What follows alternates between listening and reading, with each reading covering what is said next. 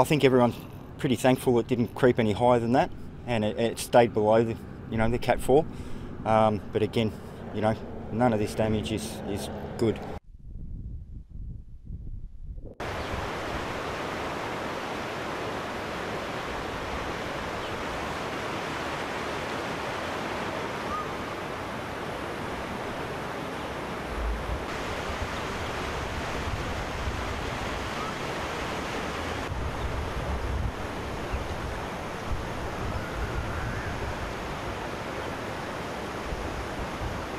Well, one of the big concerns for our region at the moment is the uh, information from BOM that is talking another 25 to 50 mils this afternoon in the region and more rain tomorrow. So if that rain is to occur, we're certainly looking at a big impact on our region and uh, council and our local um, disaster management group is doing everything in their powers to be prepared uh, for that im- impact.